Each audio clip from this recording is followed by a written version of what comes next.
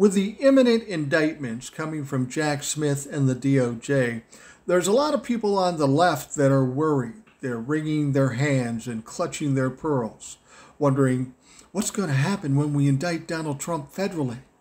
Are the Trumplafucks going to go crazy? Is there going to be an uprising? Are they going to riot? Is there going to be all kinds of violence? And I'll tell you this I feel pretty confident that they aren't going to do shit. And here's why. It's because they're in a vastly different position than they were on January 6, 2021.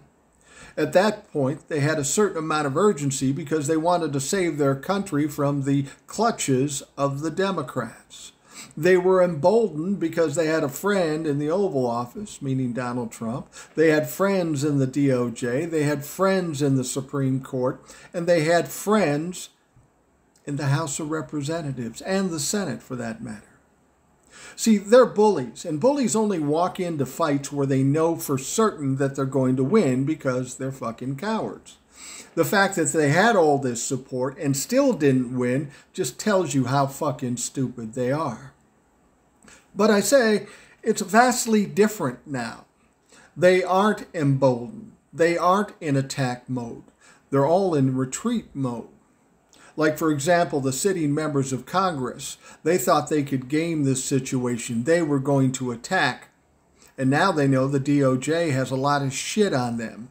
So they're too busy covering up as opposed to going in and fighting, especially when they failed the first time. Are you going to try it again and, and suffer the consequences a second time? I, I don't think so. Joe Biden's the president. The DOJ is democratically controlled. So they don't have any friends. And these people don't have courage. They aren't going to walk into insurmountable odds. They're just not going to do it. And if you don't believe me, what about the Manhattan District? Everybody was saying the same thing. Oh my God, if he gets indicted, there's going to be violence.